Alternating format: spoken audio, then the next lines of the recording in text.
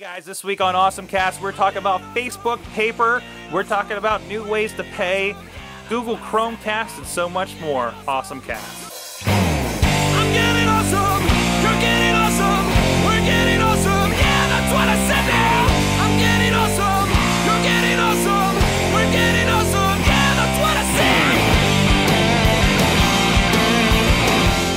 Hey guys, welcome back to the Awesome Cast 184, coming at you from Pittsburgh, PA. I'm Michael Sorg here at Sorgatron on Twitter, ready to get geeky, ready to have some fun. Uh, with me, first of all, in studio is Katie Dutters. Student, uh, Katie Dutters. Yes, that's your name now. Yes, that's Katie your name. Dutters. Perfect. I, I read two things and just mashed them together. Apparently. Uh, how you doing this week? Good. How are you? Awesome, awesome. I, I know you're excited about the Super Bowl. Oh yeah. The Super Bowl Commercials. Commercials. Forget the game. I'm about the commercials. Well, that's what that's what we always tune in for, especially uh, we'd already talked movies on the movie minute earlier tonight and everything like that. Uh, so also with us remotely because I guess there's a storm a coming. I don't know. I haven't seen outside today. Is John Chichilla at Chilla on Twitter? How you doing this week? Pretty good. How are you? All right, all right. Also joining us, as seen on TV, is one Jim Lokay uh, for coming at us from Boston. How you doing, sir? Hey, man. Good to see you. Awesome. Kind of an extreme close up on my end. Sorry. That's all right. That's all right. And also a first time uh, with us this week uh, from the Creative Brief podcast is John DeGore. Uh, hi, at Diggy on Twitter. How you doing, sir? Not too bad. So first of all, you're the newbie. Tell us uh, what is uh, Creative Briefs for those that don't know. Um, so Creative Briefs is a podcast where we basically interview people doing creative things slash projects about their philosophies and attitudes about it is what they work on. So kind of a mix between a more informal interview and a kind of formal slash informal interview. I guess is the best way to say it. Awesome, awesome, and and, and mostly Pittsburgh based, which I think it's really good to see creative types. You know, I, I, of course, Yeah. I, I know you had some touring people actually just stopping by Pittsburgh too recently. Yeah, um, so we try and do, as I mean, since we're in Pittsburgh, we try and do our podcast with our guests live, like in person. So we all share the same mic. Um, it makes it a little bit more intimate and makes people more at ease. Where in the design world, people can get really worried about their P's and Q's, and we want them to feel comfortable. So we try and do all of our interviews are in person, uh, and occasionally we go out of town. So if we go out of town, we'll get some people from outside the city. Nice, nice. Whereas I have gone completely digital on this stuff. um, awesome. Uh, and of course, uh, like I said, this is the Awesome Cast. We're here recorded live every Tuesday at 6.30 p.m. Eastern Time at live.sorgatronmedia.com. Uh, you can drop us a line. We're uh, at AwesomeCast on Twitter. We're on Google+. Plus. We're on Facebook. Uh, you can also drop us a line at awesomecast at uh, on the email. Uh, we're available on iTunes, Roku, Blip TV, YouTube, Stitcher, and Spreaker, amongst other places if you look us up. Uh, so let's get right off with the uh, awesome things of the week. Uh, let's our, let our new guy, uh, Diggy, tell us tell us what you got here. Um. So yeah, the let me see, base. I can't remember all these. Yeah, the Basis health tracker. So I know you. I you know I'm an I listen to Awesome Cast every week, and there's been a lot of talk about some of these health sensors that you can wear all the time to help you keep track of what's going on. So the problem is with a lot of those health sensors, like Fitbit, um, the majority of the ones out there, are they are really making assumptions about what your actual health rate, your uh, not health rate, sorry, your heart rate are. And the Basis Health Tracker actually can track your heart rate. It has a little laser that's on the underside of like this watch interface that kind of is able to read your pulse through your wrist. So it's giving an actual accurate tracking of your heart rate instead of just kind of guessing off of it based off of the other information it's pulling in. Which I think is really interesting if you're really trying to get some deep level data or really I mean I think just it's a better accurate representation of what like your sleeping patterns are and the actual amount of work you're doing when you go through a run is your heart rate. So it's a little bit more pricier than the Fitbit. Um, it's gone down price recently. The last year's model is a little bit cheaper. And the only difference I've seen so far in the differences is one has a fancier strap. They haven't really gone into details about the difference between 2014s and 2013s. Um, I haven't gotten it yet. I think this is the one I'm going to get because I'm going to start changing, chaining crap. Sorry, guys. Anytime you put me in front of a microphone, I immediately lose the immediately lose the ability to talk. Which, if you listen to my podcast, you would know. so I'm going to be training for the half marathon soon. And I think I'm going to get this one instead of the the Fitbit Flex, which is what I had been looking at previously. Nice, nice. So, so is it? So it's going to be more accurate. Like, uh, my wife has a, a uh, the Fitbit. I I think it's I think it's the Flex one that's just the armband, not the watch or anything like that. Um, so, so this is doing a better job at, at, at your heart rate then. So those aren't actually tracking your actual heart rate. What they're doing is making it assumptions based off the data you put in, Okay. like your height, your weight, and then how fast and how far you're going. Because that's Okay. really what Fitbit's tracking is the how far, how fast you're going, and it can track. I think the new one can track how high you're going as well. yeah. But yeah. it's not actually tracking your heart rate. The Basis is actually tracking your heart rate. Okay, so it's it's basically saying actually that that is right because I think I think uh, uh, uh, Missy actually does have a pedometer alongside it. So so it's just saying you're walking this much uh, at this rate. We know you weigh this much and you're this age. We think you're doing around this. Yes. Okay. it's guessing it's kind of estimating what your heart rate should be um, where basis is actually reading your heart rate hmm Awesome. Awesome. Is, and is it um is, is it compatible? Does it does it communicate with the phones or? Like- um, it, I, I believe it does have a phone app it's uh, it definitely has a web-based app and i think it has a phone-based app as well Awesome. there should be some pictures of it up on their website because their website doesn't go into a lot of depth so there's only like three or four pages into it Awesome. And that's at mybasis.com if you guys want to check that out too. yeah So- they're also on amazon as well Cool. Go check that out. Uh, okay, what do you got? First of all, uh, you know, it's funny you mentioned that about the Fitbit because, first of all, um, you are right. The the newer one, the Force, has an altimeter built in, so it can count how high you go. And on the subject of heart rates, I did a story yesterday with uh, AT&T about some different apps, and there's an app which I didn't know about called I think it's Instant Heart Rate, where what it uses is the camera lights on your phone to supposedly read your pulse through your finger Mm-hmm. and it actually was fairly accurate. So I was surprised by that. Um, but one of the things we've been covering quite a bit, and I know a lot of us, uh, you know, may have been concerned about in one way, shape, or form, has been the credit card breaches all across the country. And there's been a lot of talk about switching the kind of credit cards we use from that magnetic stripe to more of a smart card based system. The problem is uh, the retailers and the credit card companies are fighting over who would pay it because it would be a huge cost. So there are these other um, uh, alternative forms of credit card processing like Level Up, which is right here in Boston. It's not new, but they're really getting a lot of investment. Uh, a lot of people are investing significant amounts of money in Level Up, and what it does is you link it with a credit card, but what it does is generates a unique uh, QR code on your phone. And you go to the different retailers and you scan your phone, which creates a different QR code every time you use it. One of the advantages uh, is obviously that's that's unique, but also from a business aspect, they are really significantly cutting down on the amount of fees that they're charging these credit card companies. So rather than paying a percentage of every transaction, I think they're lumping them together and taking a smaller smaller cut, a very small cut off the top. So it's uh it's expanded. I believe that they they they've tried to roll out in Pittsburgh. I don't know if they have yet, but uh, they're based here in Boston, so they're pre- they're pretty widespread. They've they've got some big retailers on board here in the Boston area. So this is actually a new, like like from the pictures, there there is actually a new unit they somebody would have to install as a retailer.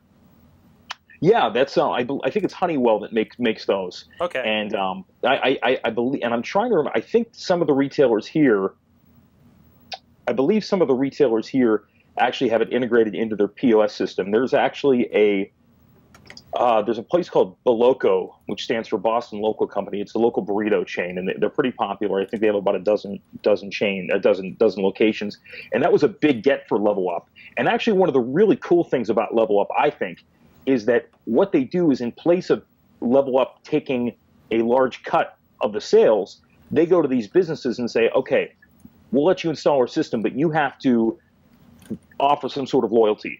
So, you know, a lot of these retailers, a lot of these restaurants will give you two or three bucks off your first purchase. And then it has a built in loyalty system where I know uh, one of the burger places I go to, for every $50 I spend using Level Up, I'll get $5 back. So it's kind of a it, it, it kind of kills two birds with one stone. I think it's pretty interesting. I think that it's something you can catch on. Uh, it doesn't use uh, um, uh, NFC technology. It just uses that QR code. Although I think when you think about it, the NFC uh, technology, the near field communication, isn't a bad a bad option down the road either. But you got to get Apple on board with it. It, it really seems, yeah, and it really, yeah, and so it's universal right off the bat. It really feels like uh, kind of an advanced Square in the Yeah. long run. Like, like, because I know Square. I, I think they were starting to get the loyalties program into it again. I haven't used it. I, I use it for just you know DVD table stuff. Not we don't have the you know cafe anymore. I was starting to look into the deals and um, that Mhm. high level stuff. But yeah, it looks like we can throw in like the what we would do with Foursquare. But they're if they're using this, it's more integrative. If it's more of a forward thinking area, like you know, like this burrito place you were talking about, Yeah. um, that that you know people will be trying this new technology. Um, I, I really like how it, it, it does it does integrate like that. Yeah, it's it's it's a pretty. I think it's I think it's great. I mean, I, I and and I think that uh, you know I know that if I have level up in my pocket, and I'm I'm near a place that I've visited a couple of times. I'll say, hey, I'll go because I'm I'm close to getting that fifty dollar point. You know, the fifty dollar price point. So um, I think it's a matter of just convincing people to use it. But one thing I like that it does, as opposed to Square, I know Starbucks had been trying to move to that model where they're trying to roll out Square in more the, more of their uh, locations. Is Level Up actually has a um, I'm, I'm grabbing my phone to uh, just kind of show it if I can, but they actually have a gratuity function built right in. So when I go to a, when I use it in the restaurants, I can also choose as, as I hold this up here. Um, this, this is it, it's it, there's my unique code, and on the bottom I can choose different gratuities, and it will change that QR code. Okay. Now, if you're in a rest, like a, a restaurant, and someone comes out, like the person comes over to give you your bill, normally you would give them your credit card, and then they walk away with it, they swipe it, Mhm. and they bring it back.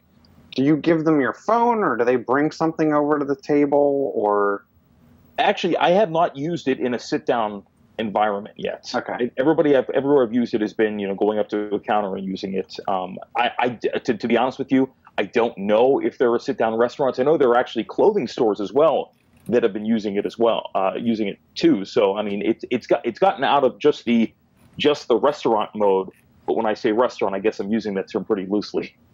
And, and I think there, there there are several options. It looks like uh, I'm trying to find the page that I was at before because it, it showed like the POSs and then it showed like integrated you know phone versions of it. So I, I think this is something that if there's a restaurant that does have this integrated, they would have maybe iPod touches or something they would bring to the table. Um, Yeah, that yeah, that makes sense. And, and it reminds me, actually, I think it, it, it was only a couple of years ago, but I was with our buddy Norm um, at uh, at a restaurant called Storms in downtown Pittsburgh, and I was so amazed that it. And I want to say this was maybe 2009, 2010, that we were paying with our credit cards and they came over and they swiped a table side and we entered our, our tip right on the credit card reader. I'm thinking, oh my gosh, the technology, where's it going? And and now, uh, you know, there's so many different applications out there. You know, like uh, uh, you know, Chris Dilla out of Bachtown uses um, uh, the one app where you can view your phone tabbed out, view your Yeah. view your tab right on your phone. So uh, it's really changing the way that we pay we pay for for what we do when we eat when we go out. Yeah, yeah. Lo- I love these fo- these forward thinking ideas to, to switch that up. Especially it makes sense in something like like like you know a bar or something or you know restaurant bar like like Bachtown because I know like the worst thing is oh getting somebody so I can get my check. It's like I can just sign it off and walk out, you know, and Yeah. that's it. You know, um, I think that's that that's tremendous. Awesome. Uh, Chilla, what do you got? I got the Pebble came out with version two on Monday. It actually Okay. released, I think, kind of late in the day. Um, so their new app obviously updates the firmware on your watch, and then within the new app, they also have an app store with over a thousand apps. Um, so I downloaded it. The interesting thing about the app store is right now too, is that for you to have an app in their app store, it has to be free. Hmm. So I'm guessing they didn't actually come up with a payment engine yet but they obviously have the ability to query what apps you had on your phone because as soon as I downloaded the new app from the Apple App Store on my iPhone, it loaded, it then contacted my watch, completely updated that, eh, probably within about two minutes. And then I got an email immediately saying, Thank you for upgrading to Pebble 2.0. Make sure you check out the app with the new App Store. And then it said, oh, and by the way, if these are the apps that you had on your on your watch that are not 2.0 compatible, but we'll email you when they become available. So I thought that was that was pretty neat. It's kind of interesting that you, you, really didn't get apps direct from Pebble before. Now they're coming through their app store, but they obviously kind of checked to see what you had before you upgraded. Um, I, I, some of the watch faces are missing that I, that I actually enjoyed, but I mean to me that's not that big of a deal. Um, the one thing that that's that seems to that they seem to be doing a lot more with is allowing the watch to interface all the way out to the internet.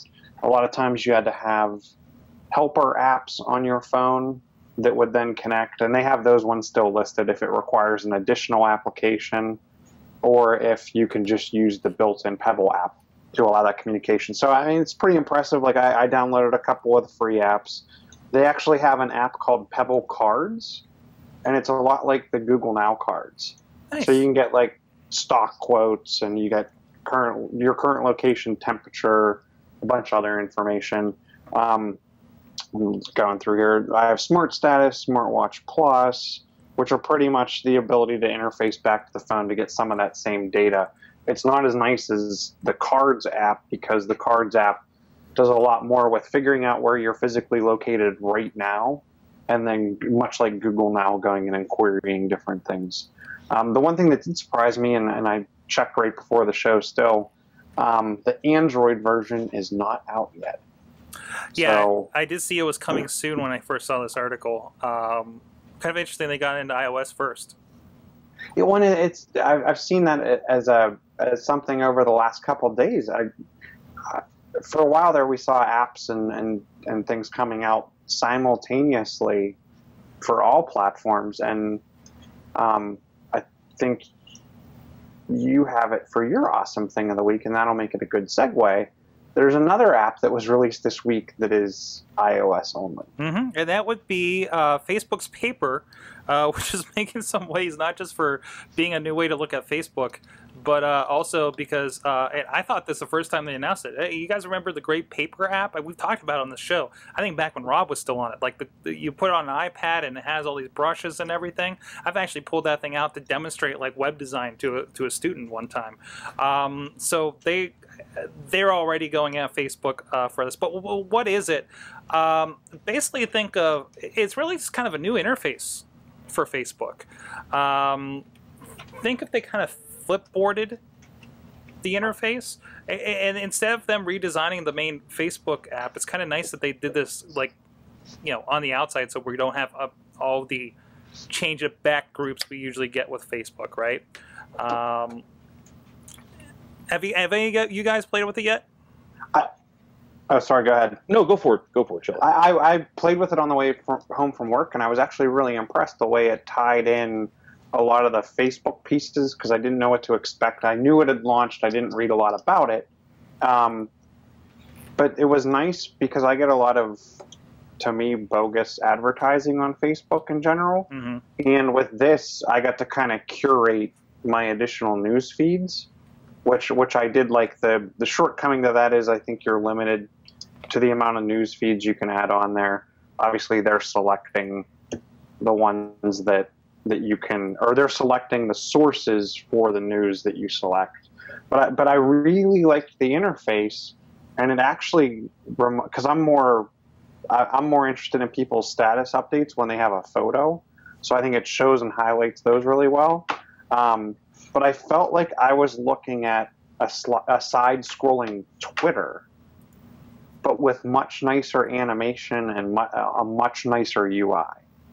I, I think they've, and, and from what I was hearing, I, I heard something on, on, I can't remember if I read it somewhere, if it was on another podcast or what, but they were saying they pretty much took this think tank, put them in another room, and said, go do whatever you want. Yeah, yeah. and and it's it's really to me it's really worked. Well, and I, and I, I think I think that that idea there uh, is the same. If I recall reading what Zuckerberg said about another Facebook app that failed miserably, Poke, I think that was the same idea that they put everybody in a room and said, you know, do whatever the hell you want.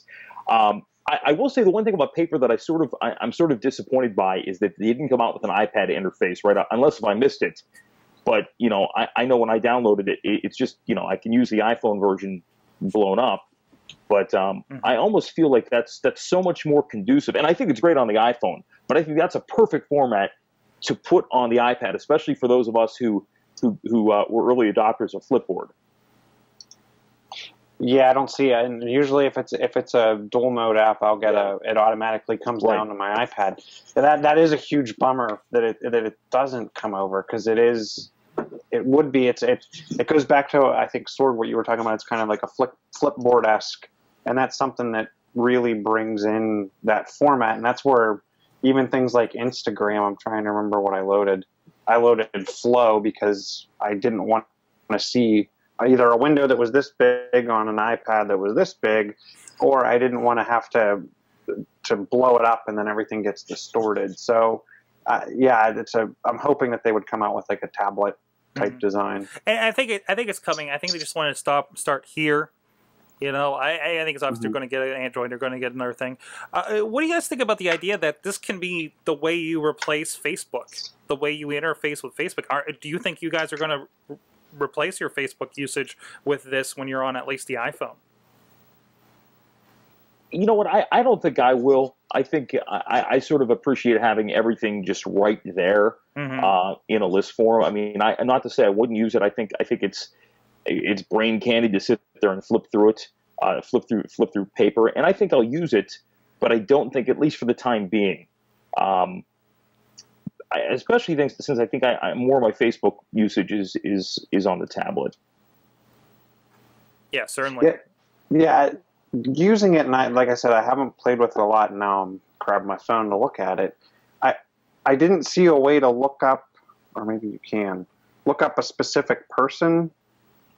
Yeah, that's friend requests, Yeah, it's really, it's really. notifications. It seems that the whole concept is that everything gets pushed to you because we got um, we have our notifications at the top. So if somebody messages me, no, there's a notification, there's a friend request that'll pop up. But otherwise, this is mostly just a reformatted news feed. Now, what do you guys think? You know, like we talked about, there, there, there's not only is there the news feed, but there's these curated kind of sources that they're doing. Like I, I couldn't find too many that really kind of fit me. I have Tech and LOL, and LOL is still a picture of George Costanza uh, from yesterday. So I don't know how much that's you know cycling through. Um, I mean, most of it makes sense. I'm looking at tech, and it's like CNN Money, TechCrunch, uh, Verge. I've seen in there, Ars Technica. So, GigaOms was a was a Giga sponsor or partner. so I don't know. Do do do you guys, guys like the idea that there's somebody at Facebook deciding what kind of stuff I'm seeing in this in this regard? Do you think it's Facebook deciding, or do you think it's Um, I, I, I think the word paid- was these. paid to be in there, or how do you think that really? I got think that's all one and the same, probably. to be honest, um, they're they're they're, they're, they're deciding either way, and and I'm sure there's probably people paying to get in those feeds. So, or at least they will be in the future. I think Lokay had something to say. Oh, I was just drinking some water there, but I think that uh, I, I think I think early on. I mean, I wouldn't be surprised if down the road. I'm pretty sure that's going to be a common uh, a common complaint or a common suggestion from a lot of people. Give us a little more input, and I think in due time you, you'll see that. Um, but I think you know they're, they're they're kind of throwing this out and seeing what sticks on the wall, and I think right now I, I think they're getting a pretty decent response from it. I mean, I'm just shocked that it's not pitchforks and, and, and torches, but I think that's what happens when you fragment your, your apps as opposed to updating the Facebook app itself and saying this is the new this is the new Facebook. But on that and on that note, what what what really pisses me off, and I think what the general public doesn't fail to understand, is that anytime you have a Facebook update, you know you get people saying I'm going to boycott Facebook, I'm going to drop Facebook. It's free. and, and and and I remember one, and I, I'll tell people to this day one one of the things that precipitated my departure from from KDKA was the day that they gave me a um, they, they said it was 11 o'clock. It was one of the time several times facebook changed their privacy settings. And they said hey go to market square and see if you can get people reacting to it. Oh by the way you have 30 minutes So we go over to we go over to Market Square. Nobody had any idea what the hell we were talking about. But one person said, "I'm tired of Facebook changing. You know, I uh, what do we pay for?" And I said, "Well, you don't pay for Facebook." I think she was thinking her Comcast bill was funding Facebook and everything else. So, um, but I think I actually think it's I think it's a smart idea. I think why not offer different apps? You know, uh, cater to different niches, see what works. And you know, if there's enough positive reaction down the road, then maybe you start integrating some of the elements of paper into the standard app. It also feels like to a point. Like I've noticed a lot, uh, and, and it's so seamless. I forget it's there, but I forget I have a separate application for chat on my phone. Yeah. But Yeah, but hit- have you noticed too? It's integrated. I I mean, the one thing I'm, I'm not too crazy about it. But I see it, suppl- it makes sense that it supplanted the actual messaging function in the Facebook app. Right, right, uh, and it really feels like, and I think this is another thing, and they've kind of broke out how you view the news stream um, and other stuff, and they want to curate stuff, obviously, um, but it really feels like a Google approach because again, on an iPhone, you know, I'm going from Google app to Google app to Google app. You know, I, I'm looking it up into Google search, and that takes me over to the Google Maps, and then I open a link, and it comes up in Google Chrome. Um, I interesting how they're fract. You're, I think you're going to start seeing more and more of this fracturing out for them as well. Um, then you don't have just this giant bloated app that's supposed to do everything, but we fixed it, you know, and it broke the things it used to do. Um, because I mean that really seemed to be what they were trying to do a year ago with the Facebook Home. A lot of that stuff, like the chat heads, which I think are gone now, aren't they? Um, uh, actually, I Yeah, think they're they're small. they're they're still there. There's the, yeah, they're small. They're small along like because even I I was I had a chat going today, and they the little chat head showed up actually in paper on the side, Oh, which okay. surprised me. The, the the one thing that I I think that they could actually do better curation and actually potentially get some probably not SEO, but a better feel for their user population is for someone needs for the the news side of things to let me add my own RSS feeds. Yeah. Obviously, they could then query that to see what is everyone reading and what's everyone looking at. Yeah, if you could, it- it- you'd you'd have me interested if I can I could integrate like all that stuff I have in Feedly and just start pouring it into this thing because it really is a nice interface for for reading that stuff. Well, I do enjoy Feedly, um, Mhm. other than you know Feedly's on every platform and this isn't yet. So uh, I think it's a good start. Obviously, it's just a start. Uh, John, uh, would you have any? Have you tried this out yet, or are you an Android guy? I remember. actually haven't. Uh, no, um, I got. I have an iPhone. I haven't tried it out yet because I don't know. I'm kind of waiting to see what happens. I'm kind of. I don't feel like adopting a new technology if I think it's going to just falter out. Like when they did Facebook Home, I didn't even bother Mhm. um, because I didn't think it would last too long. Hearing this, it sounds different than what I thought it was initially going to be. So, but then again, I might not check it out because I have no I would rather the Facebook app I have work properly than have a whole separate app. Um, because the way I view it, I I don't know if it's necessarily curtailed the way that you would do it. That that that that's promoting it, I guess. So I don't. Even, I mean, maybe in a couple months, if more people are talking about it, I might check it out. But until then, I kind of just stick to the tried true of going through the Facebook app. Although I do use the Messenger app and I think it's uh, a little bit nicer to have just because it's easier to get to, and I end up like Facebook Messenger has replaced, you know, a lot of GChat Messenger for me, especially since where I work I don't have access to GChat, Mhm. uh, but I do Facebook chat. I- the- For you guys that have tried this so far, did you? What do you guys think of the tutorial going into this thing? I almost think it's necessary. I think because it's such a radical change. I mean, it was a little annoying, uh, but I also think that it's one of those things that I, I, I can understand wanting to make sure people get the grasp of. Granted, it's a simple concept, and in the grand scheme of things, I would have picked it up in 30 seconds. But um, you know, I think for for those of for those people out there who aren't necessarily so attuned to it, but they see something new and shiny and want to try it out, uh, it, I was I was kind of shocked. It was pretty loud. Yeah. Yeah, and, and when you think it's done, it like for those that haven't tried it out, it starts off with this video telling what paper is, and it shows you a couple things like now move your finger this way, and, and but then as you go, it starts suggesting here, try this as you as you do things. I I wish Windows 8 had this. I'm still trying to figure out Windows 8. Uh, He's got it. Is that what is? oh, is there that's the intro video. It's it's the music from Two Girls One Cup. oh, oh. The the video. The, I was actually surprised with the video on the front end of the app. It actually reminded me of like an Apple commercial. Yeah, a little yeah. bit, little But then you're right. Like I, I feel like it's the perfect tutorial if I'm going to hand it to a parent or some some of my siblings that aren't so tech savvy. The one thing I think to Lokay's point, it, it caught me off guard a couple times, and it was loud. And it maybe I'm on an iOS seven beta, but it it actually brought its for a while it was playing over top of a podcast that I was listening to, which I was completely fine with. And then like the next time it played, it played it you would have thought it paused the podcast in the background, but Yeah. it played over top and the podcast went silent, Same- muted in the background, but kept playing. And I'm like, so I when I went back to hit play in the podcast, it was already playing, so I missed like 30 seconds. I had had, I had the exact I had the exact experience with that. We just went like crazy with playing Stitcher in the background because I, I didn't expect like this multimedia experience on my phone. You know, so Yeah, I wish, I wish, and and maybe they'll think think about it in the future for for those that are that um, may have hearing disabilities or something along those lines. But I wish they would have had more animation on how to do something with maybe a little some pop up text versus uh, all being audio instruction. mhm.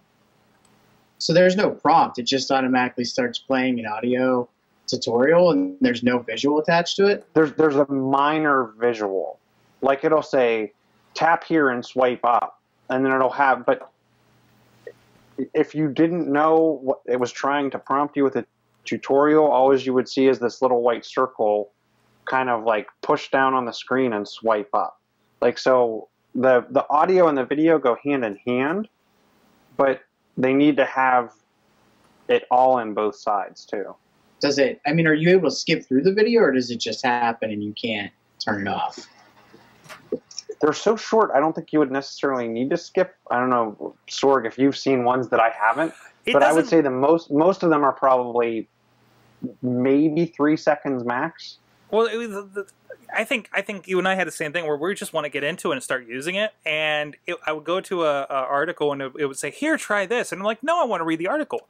Um, Well, I mean, I just think it's odd that a lot of people are probably trying this app out at the workplace for the first time, yeah, and then they don't know this is going to happen, and you know, you could be potentially in the middle of a meeting, and all of a sudden, try this, and everybody's just staring at you oddly. So I like this. So so uh, you have an article in here, Chilla, about about uh, this is a side-scrolling Twitter. Yeah, and I get because I didn't know you were going to use it as, as your uh, awesome thing of the week. But that's that's actually what it reminded me of.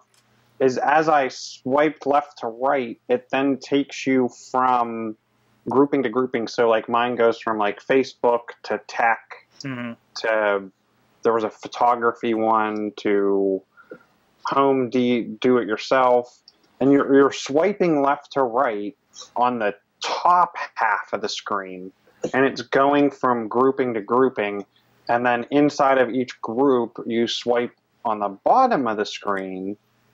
And it it takes you through the articles in that in that section. Obviously facebook i think is always number one no matter what. And but it got interesting because like you could then hold down on one of the articles at the bottom and swipe it up so you didn't have half screens. It, it, it's interesting because i i'm guessing there's multiple ways of doing a lot of different things in the app. So those that feel like option one is intuitive and option two is intuitive well they both work. Hmm so it, it doesn't really much matter to the to the end user. I just found it to be an interesting way to, to scroll through information. And like to me, it would be like if you took your your Twitter timeline, turn it on its side, and swipe left to right, and and you're just getting those kind of updates. And I maybe it's just because I follow a lot of tech news and and a lot of photography stuff and those different same type of things in Twitter, I felt like I was just going through my Twitter feed again. Mm-hmm. Awesome. All right, let's. Uh, I think it's time for talk some Super Bowl, uh, Dudders. Super Bowl commercials, go commercials. Yeah, who wants to watch a game? Ugh, especially that game. That was Oh man, that was that was sad. I, I wanted to cry for Peyton Manning, and that's bad. You know, things are bad when you just feel that bad for Peyton Manning. like that's horrid. But uh, I did. I, I enjoyed the commercials, and I, and I love the fact that social media has completely changed the way that I watch commercials. I immediately watch the commercial, and the first thing I do is I'm on here going, "Okay, what does Twitter have to say about it? Ooh, what how's Facebook going to react to it?" And and there were a couple what people kind of deemed controversial commercials, as there always are, and and but going in and seeing the reactions to a lot of these commercials and whether or not people like them, I, I think is a lot more fun. And then just sitting back and watching them, because you can kind of get, get a camaraderie and enjoy the conversations. Um, one of my favorite ones, one of the tech commercials, was the Microsoft Empowering commercial. I don't know if you guys caught that. I didn't initially, but I got to check it out later. and it, basically a lot of it is um, what technology can do for people who have different disabilities. Uh, these they, they have the kids in there who would um, I think they're tibias and fibias, fibulas um, were non-functioning, so they replaced those. Uh, there's the uh, base a lot of it on on the um, a gentleman who can't see who's painting again, and uh, it's all narrated by this this gentleman who has um, Lou Gehrig's disease and, and uses a Surface to type all of this out, and that's how it's narrated. But it's all about how technology is enriching our lives. And a- Yeah, and this is the and this this reminds me back to um, we we did some pieces on Unsung about some technology with ALS, Lou Gehrig's disease, um, and you know, like the eye tracking, like basically that's replacing using a mouse because at that point you know they can't use a mouse anymore, um, and, and other thing other ways that they can because I mean I think I think with that disease eventually they can't even talk right, and I think that a lot of that was addressed in this too. Um, I- it, it was funny because one of those is they're doing surgery with a Kinect. Yes. In some, in some fact, I didn't. uh, Did you see how they were using the Kinect? The in Kinect- surgery. The the way they're doing it is they're manipulating it in it's almost like um, if you've ever watched like a CSI or one of those those investigative shows where they're on the screen they're swiping things from one to the other to the other and it's kind of a very similar thing where they're just be able to look at these x-rays and manipulate them. He's just turning the x-ray Okay. based okay. upon- So we're not doing surgery with No, this no, thing, no, we're- thankfully. we're looking at no we're, it's more of like a um, diagnostic tool versus an actual surgical tool but you're it's the same basic thing where you're moving things around and able to move it without having to hold on to it's a lot it's more sterile also which is kind of interesting that i didn't think about till later on oh yeah. because you're not touching a laptop or something else you're just And that's and most likely that's like the first Kinect they're Mm-hmm. using there. With the doing a new resolution, they can probably do a lot more Mm-hmm. fun stuff with it. So that's really a little bit of that Iron Man computer thing that you're just going like this because I Mm-hmm. mean it, the way the Kinect works, it just sees your form Mm-hmm. and it knows these are hands because it figures it's connected to this. You can actually see.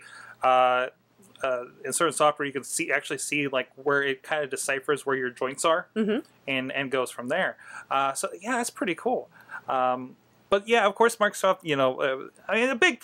They're into more than just computers. Yes. They're they're they're they're enterprise. They're integrating a lot of this stuff in here.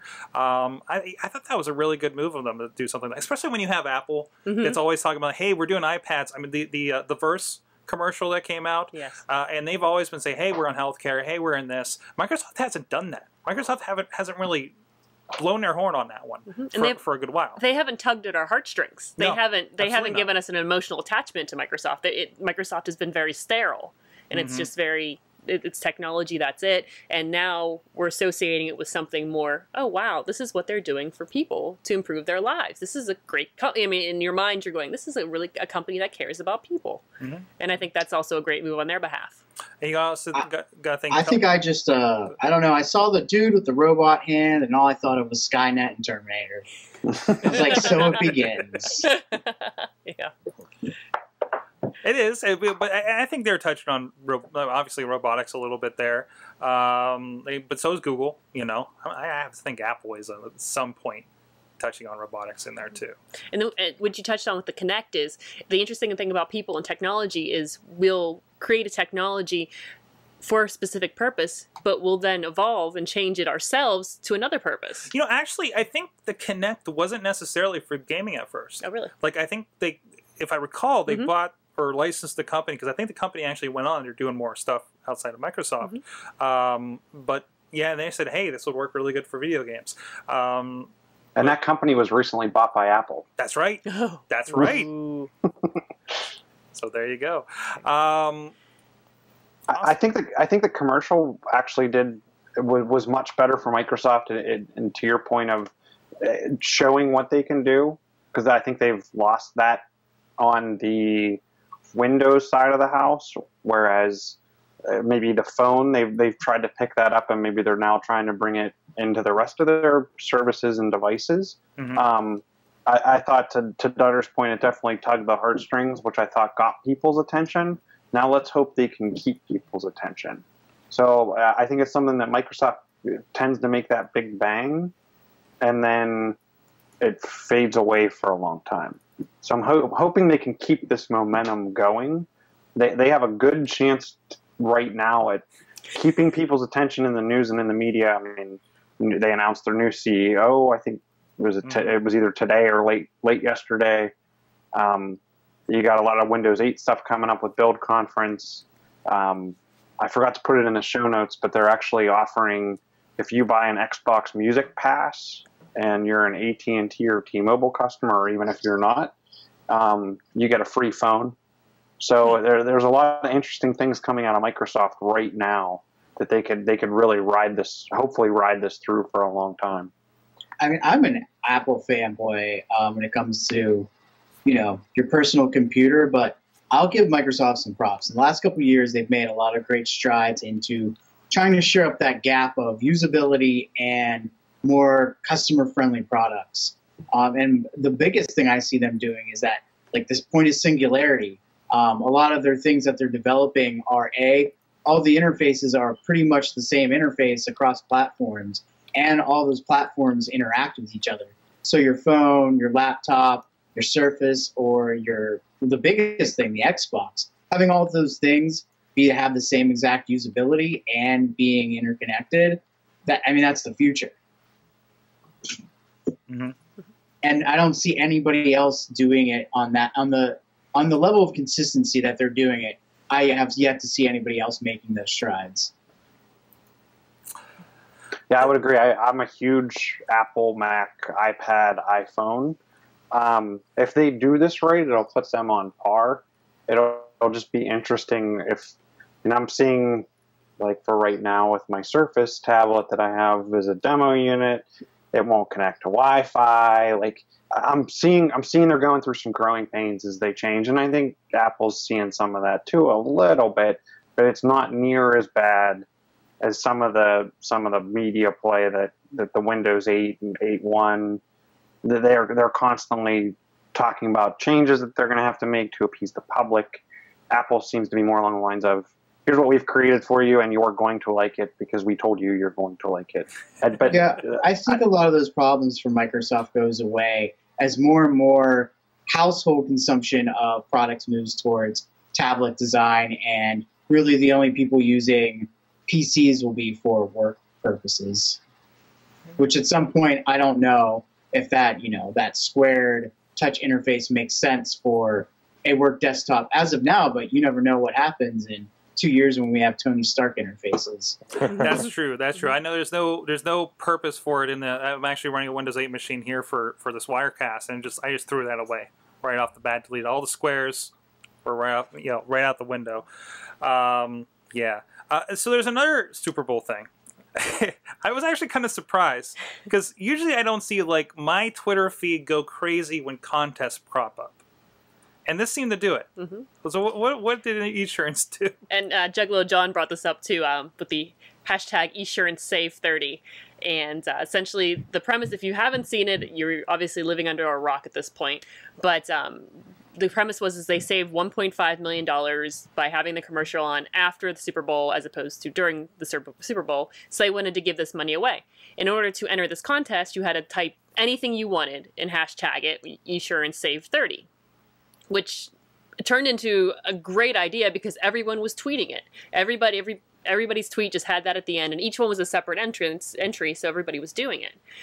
I had the unfortunate experience where I hashtagged it for as a joke. Uh, what we're going to talk about today. And AwesomeCast and I hashtagged it Esurance Save 30. Esurance responded to me and said, I saw what you did there. That was clever. Now try this, blah, blah, blah.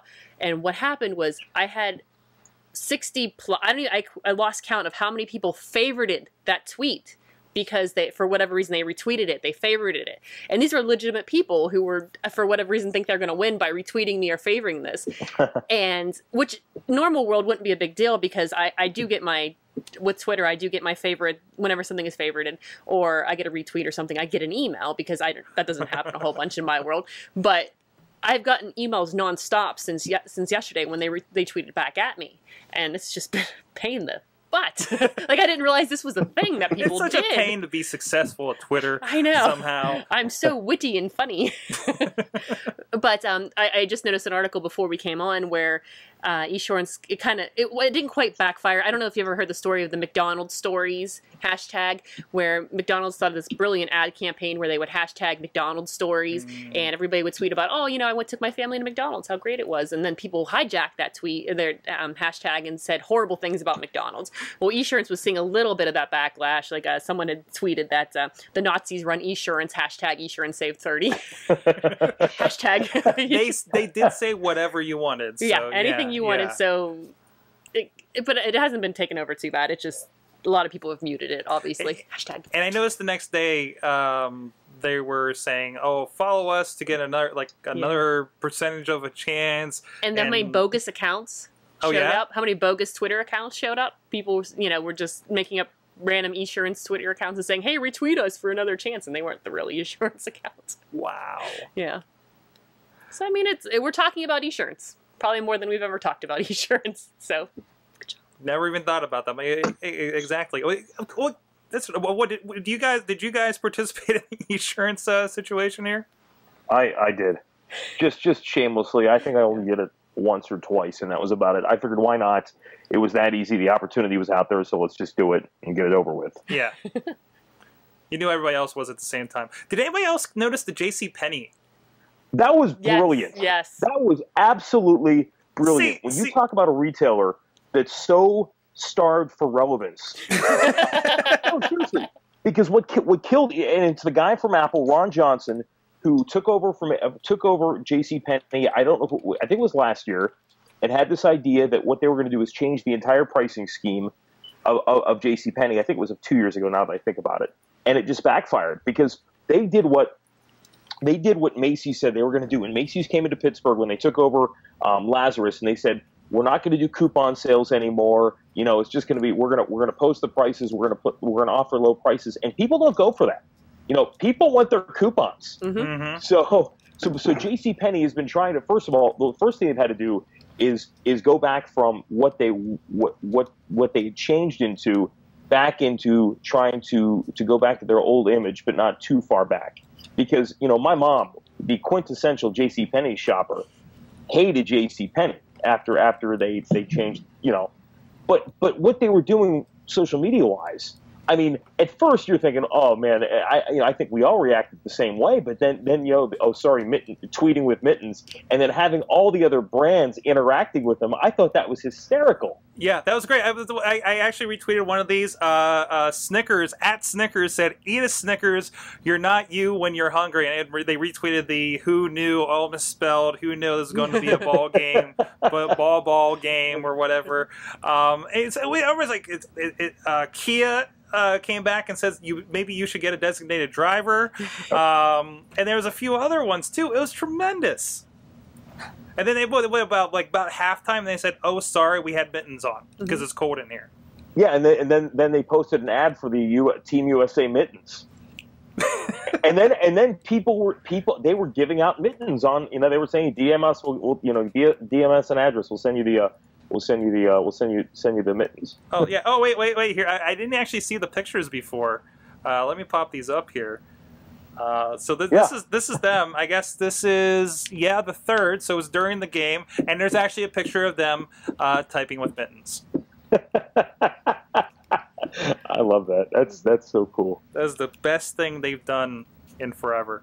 Well, everybody Can was. I- Pre- oh, sorry. No, I was going to say, can I uh, go? I actually, Dudders, you're probably more interesting than what I'm about to say, so go for it. Well, no, everybody was making their planned. Remember how last year Oreo and you could still dunk in the dark? Everybody Yeah. was planning in advance these very nifty social media things that they were going to do in case something happened. I'm sure there were a lot of campaigns like just waiting to happen that didn't actually happen. True. I, I'm afraid to see New York considering that. what would you post in the event of a dirty bomb attack at MetLife Stadium? You know, Oh, would Lysol would Lysol post something? Well, I missed. Did that, uh, one one of my favorite commercials was actually the Bud Light commercial Yeah, where they had the guy that they found in a bar. he thought it was like, a um, a focus group. If we give you this Yeah. bottle of Bud Light, will you follow us around and do whatever we want you to do for the rest of the evening? And he's like, yes. So then it, the screen kind of goes uh, faded out, and it's like, this commercial will be about whatever is an Ian Rappaport and how he did not even realize that he was going to be in a Bud Light commercial. Follow him along tonight. And I, I don't know if I missed a bunch of commercials, but I saw like one or two more, and then I feel like I lost track of Ian.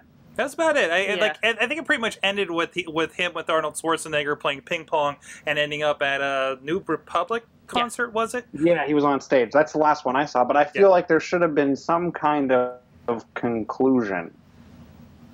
I, I, I almost expected it to be, and, and to see what happens next, almost like a GoDaddy commercial. Go go check us out at this website. I, I know uh, Don Cheadle in a in an elevator with a llama. Why not, right? Um, so yeah, I, I felt uh, not crazy, but I, I thought I, I, I was surprised there wasn't any. There was like one Doritos commercial. They're usually pretty good. Mhm. No Mountain Dew. Like like I felt like that was kind of a weird mix. You know, A lot of car commercials. A lot of car. always lots of car commercials. I, I don't know what it, between Christmas and Super Bowl, there have been more car commercials than ever. Of- And of course, you have to mention the Muppets and Toyota. Yes, I love that. That was that was that was amazing. And uh, what's his face? Uh, Tony or not Tony? Um, Terry Crews. Terry Crews. That's right. Yeah. Yeah. Perfect. Well, I will say a lot of the ad experts said the, the one thing they took away from the Super Bowl this year was it wasn't so much, you know, after times of national tragedy, you saw a lot of the sentimental ads, you know, and and you we kind of went back to that this year. We saw a lot of sentimental ads, a lot of a lot of ads that played it straight. Not too many, uh, not too many sexy ads. You know, like you, you No. didn't have the, you know, you, you didn't have that. Uh, one ad that I think that kind of dropped the ball though, and it kind of has the technology angle. And I, when I was when I was doing the story with AT and T yesterday, um, the regional manager for AT and T in southeastern Massachusetts, and I talked about this was the Ellen the Ellen DeGeneres dancing commercial, and the, she was promoting Beats Audio, the new their, the Beats Audio streaming service. And first of all, you're seeing a lot of Ellen ads because she's hosting the Academy Awards and she's dancing, and that's about it. It's just Ellen dancing. Hey, watch the Academy Awards. so what that ad, you know, they, they had this ad, and I, and I was I watched it for a second because I like Ellen. I think she's funny, but I had no idea what she was promoting Mhm. other than it was just something involving Beats Audio. So I didn't know if she was promoting the headphones or what. And I come to hear that AT and T is all in on this new streaming music service, which is going to go up against Spotify, where they're going to um, they're, they're trying to go up against Spotify, and from from all appearances, it looks like it's going to be the same exact thing, maybe just a different interface. But um, you would know that from from seeing the ad. So I think AT and T was a little upset that uh, that you know now they're going to have to explain that to consumers as they come into the stores and wonder what Beats Audio streaming service is. Yeah, I think the only thing that disappointed me about that commercial, besides, I mean, to me, that the whole not knowing what it is. I mean, I knew what it was just because I, Yeah, yeah. maybe I'm in the know, but the fact that they missed a chance to have a commercial with Ellen DeGeneres and Dr. Dre, I think, is a big missed opportunity that could have been fantastic. oh yeah. Um, and when talking about the cars still, I want to just follow up, like the whole. I love that there was like you know a couple years ago we had Clint Eastwood and this very like oh America and the conservatives went crazy, and this year they gave us the left version of that with Bob Dylan. awesome. All right. I want to touch on a couple of stories real quick here before we get out of here. Uh, Chromecast opening up the SDK. I'm, SDK. I'm, I'm a Chromecast user. I'm really excited about that. Um, are, you, are any of you guys following this story? I, yeah, I posted it in there, and it's something that I think is really interesting because I think it's it, their device hasn't been out that long, and I think it just shows the adoption rate and the ability for people to integrate it. And if I think it's going to get interesting, so the whole point of Chromecast was to take over a stream that you have on your device and throw it up on a TV or anything that will display HDMI. Mhm. Now you put this in the hands of the developers and even in in the iPad world, there's been a couple of companies that have taken the theory of of AirPlay and they give you they throw a browser up on your TV screen and the screen experience is completely different. So I'm hoping that a lot of developers with the Chromecast take this theory and uh, and really allow for not just taking over something that I'm streaming and pushing it up onto the TV. The other thing that I've heard people say, and, and I actually, sadly enough, I am a Chromecast owner and it's still in the box from Christmas. Oh, So I haven't plugged it in yet, but I here it says peel here. Um, but but um, I'm I'm hoping that it'll give me a reason to really take it out of the box and not just stream something that I already have and have a laggy window open on my screen. You know, but I've been loving that. I've been loving that openness to be able to send stuff up. I, I, I send I send streams sitting on my Mac Mini, uh, like stuff streaming to a browser in my Mac Mini upstairs in the office, down to my living room TV. It works pretty decently, uh, as far as I mean, it's not as perfect as if you're using Hulu or Netflix or anything like that. Uh, but the idea that they've opened this SDK up, that that hopefully it'll end up in more apps. I'd love if it was in the This Week in Tech app. I'd love if it popped up Mhm. in the SourceFed app, just so I can go t- through those instead of oh okay I can I can find the same videos on YouTube. Let's go look for those in the app. Um, uh, I, I like I like the idea, and actually I've had to set, help somebody set up uh, AirPlay. Uh, I've never played. Really, I've never played with AirPlay and Apple TV and stuff. And I'm like looking at this, and I'm like, wow, it is a it's simple enough, but it seems a lot simpler. It's like I got this. Like basically, her complaint was I got this hundred dollar box and I can't really do anything with it. They completely lied to me at the Apple Store, and I was like, oh. Then it's like, well, back of my head is like, oh, should have got a Chromecast. You know, it's like you have an iPhone, you have all this stuff. Chromecast would have done you fine. You know, Can I tell you a quick AirPlay story Sure. that involved me me embarrassing myself on TV? Um, so uh, let's see, about a year ago, we uh, you know a lot of TV stations are moving towards these like giant touch screens where they can show. It's kind of pointless. It's just like a whiz bang thing. Yeah. So what they decided to do was. We in our studio put up a large plasma TV attached to an iPad and an Apple TV. So, you know, obviously you have to have a Wi-Fi connection, but the Wi-Fi was really weak, and they didn't know that at the time. So one day I was doing a story about how to track sexual predators in your in your neighborhood, and we had a map. So I had the map up on my iPad, and we're kind of showing here's the map, and we we go to a soundbite, and during the soundbite the Wi-Fi crapped out, and, and the Apple TV went into screensaver mode, and the screensaver defaulted screensaver on my on my Apple TV is the cute fuzzy sea animals. So we came back to me on the air. They, they, they, they didn't, you know, the, the people in the control room thought it was hysterical. They didn't even bother to take me off. Uh, they put me back on the screen. so as I'm talking about how to prevent your kids from be- being raped, uh, there are pictures of fuzzy, fuzzy animals behind me on the screen. so uh, we have since reinstalled uh, the Wi-Fi setup, and, and no longer is that the case. But it was uh, it was pretty. eh, to this day, they, they still have screen caps posted somewhere in the building. I've seen. The, the one thing that surprises me a lot about AirPlay is that, and and we're starting to look look to use it for for work.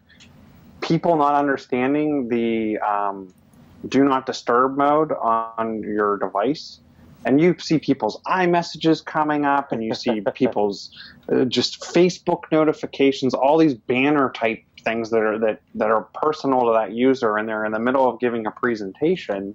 And to your point, it's just like, oh, I didn't mean for anyone to see that, or oh, but, and people just don't think about that whole private side of their life Yeah, Mhm. yeah. that they don't want I, I- you know, I do- everyone to see in, in a conference room. I, I think I could do one one better. We were waiting on uh, to do a do a hangout yesterday, and all the PA students were sitting around on the other end of the hangout, and they were just talking about whatever. And uh, apparently, I, I don't even know what school they went to, honestly. Um, but uh, they, they they all get iPads, and and it's all like they have a technology fee, and they're kind of complaining about that. But it's a shared account, so you can get all the apps. And people don't realize that, so now you're getting everybody's text messages and everything, and, and it was like it's kind of a nightmare when you first get on there. Um, it, it was it was kind of interesting to see that they're they're doing that. Uh, Like, presumably, I guess they they probably just put everybody. Uh, you probably know this, Chilla, from from administrating iDevices. Um, I, I, I'm guessing they're they're putting everything under administrator mode so they can port down their apps and and they they just kind of leave it open.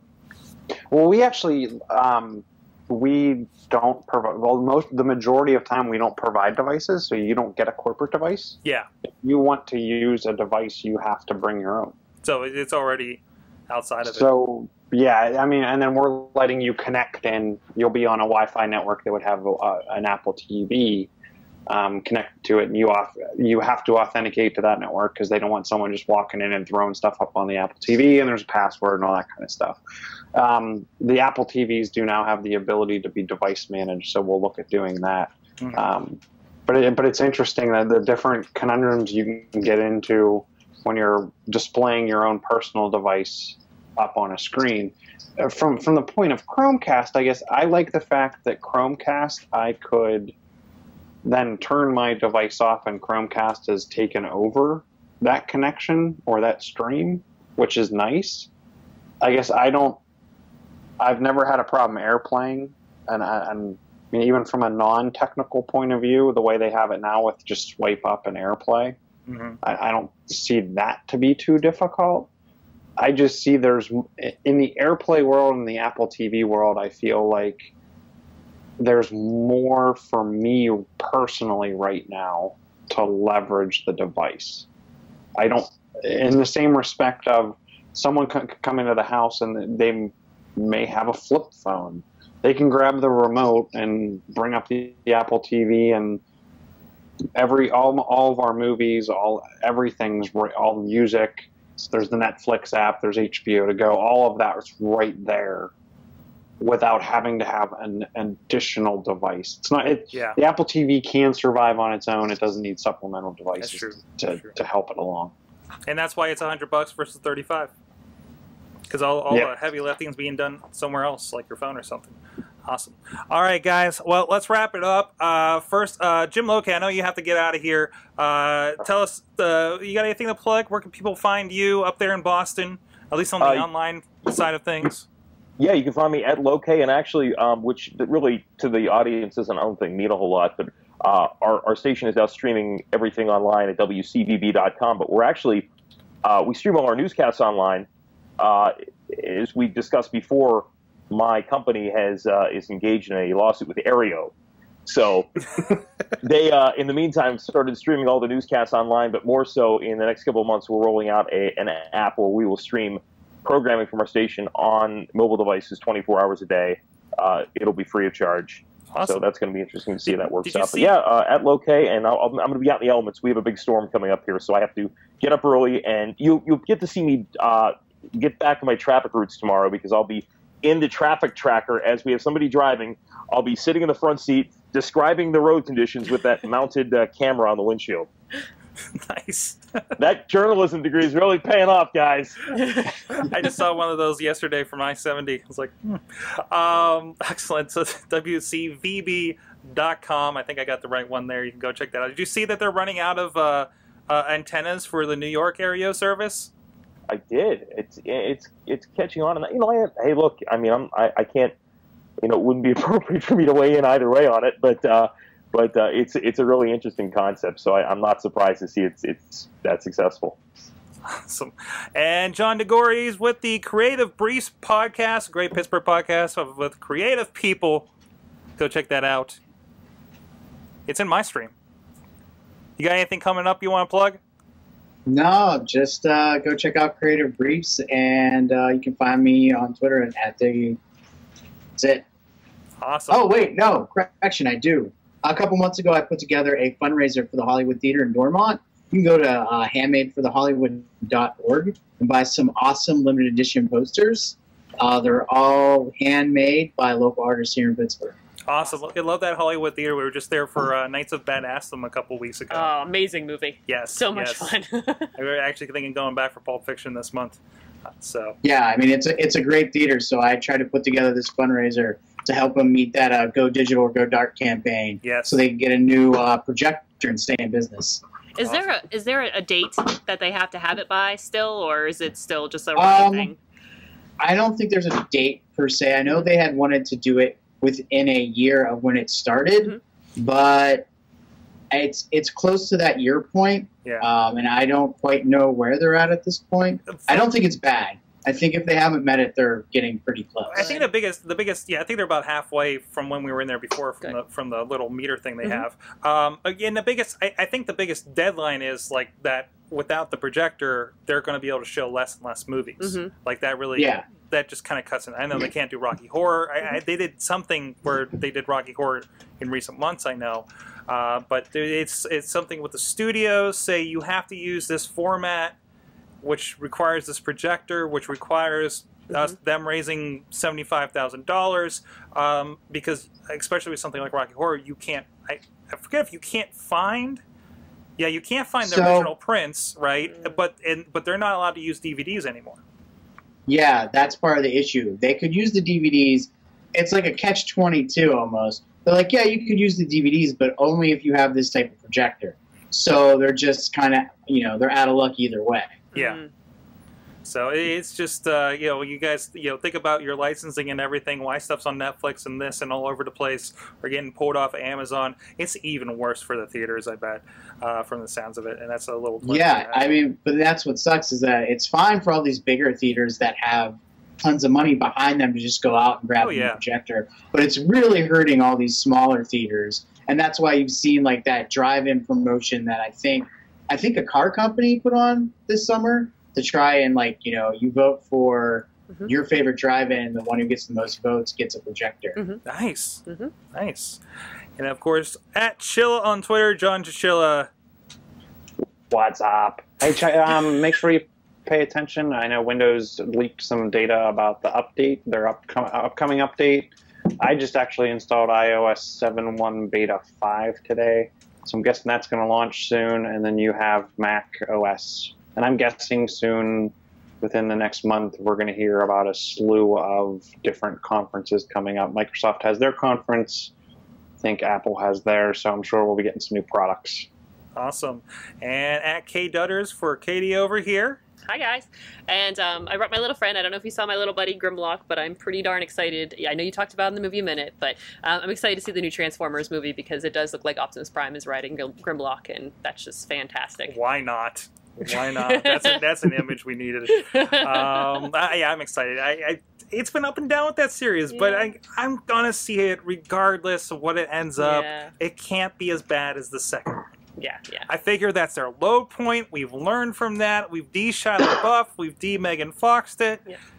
Mark Wahlberg, Mark good. Wahlberg, come on. Good. That's I mean that adds a level of badassdom to this right there. Uh, so with that, guys, if you want to join us here live every Tuesday night, live.sorgatronmedia.com around 6.30 p.m. Eastern Time. Uh, you can also drop us a line. We're at AwesomeCast on Facebook, on Google+, AwesomeCast at uh, sorgatronmedia.com, uh, iTunes, Roku, Blip TV, YouTube, Stitcher, Spreaker, uh, wherever you want to subscribe to us on video and audio formats. Um, and with that, hey, thanks to our awesome chat room that's been hopping all night, uh, letting us know about the insurance and stuff, and sending me a great uh, Muppets vine. Thanks, John. Um, oh, Radio Shack. The Radio Oh, Shack. Oh, how could yeah. you forget? Oh, that's that was all of our childhood. That was all of our childhood, and, and they won it back.